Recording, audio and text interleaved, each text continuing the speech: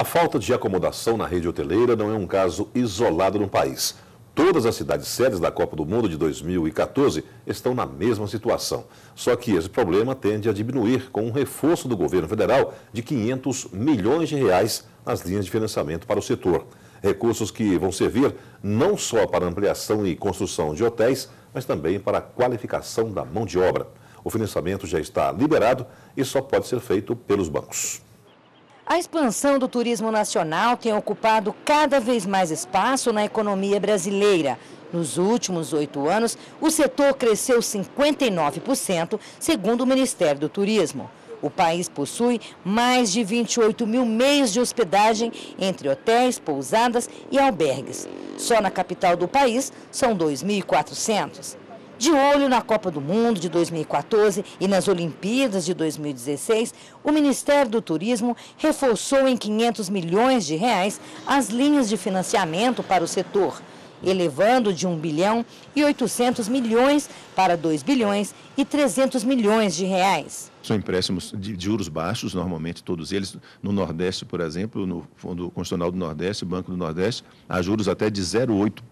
0,08%, eh, mais a inflação. Enfim, esses, eh, são longos prazos, acima de 10, 15 anos. Enfim, as condições de empréstimo são todas adequadas a uma relação entre empresas e o banco. Nós precisamos investir na capacidade, na ampliação da capacidade da rede hoteleira para a Copa, porque nós estamos entendendo que com a chegada de pelo menos 600 mil turistas, que é a expectativa da Copa, nós vamos precisar ter muito mais, mais acomodações. Mas não é somente a construção física. Nós estamos preparando pessoas para trabalhar como camareiras, recepcionistas, pessoas de cozinha, porque isso gira toda a economia. Já com vistas nos dois eventos esportivos e também para solucionar a questão do déficit de acomodação no Brasil, estão sendo construídos no país 150 novos hotéis, 10 deles na capital do país. O maior problema é registrado no Rio de Janeiro, onde faltam 7 mil quartos, seguidos de Cuiabá, no Mato Grosso, e Manaus, no Amazonas. A falta de acomodação é atribuída ao crescimento do turismo interno. Nós conseguimos botar no bolso dessa classe C, né, que está emergente agora, que todos os indicadores econômicos é, é, mostram isso, que nós vamos ter 50, esses 50 milhões de brasileiros nesses próximos 10 anos, eles estão colocando a viagem né, na sua bolsa de consumo anual.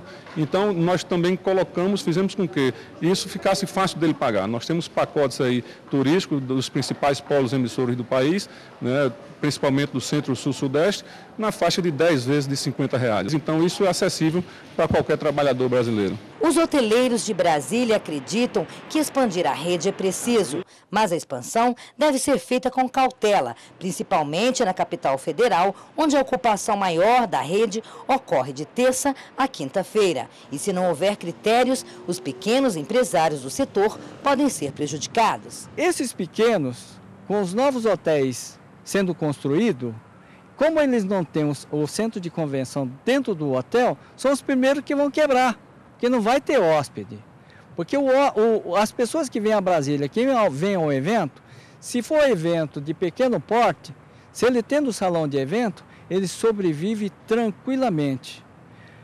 E para que possamos atender os demais hotéis que vierem depois a construir, nós temos que aumentar a oferta juntamente com as necessidades de equipamento para ter novos outros eventos paralelos para que os outros hotéis não venham ter dificuldade e chegar a fim de quebrar esses empreendimentos.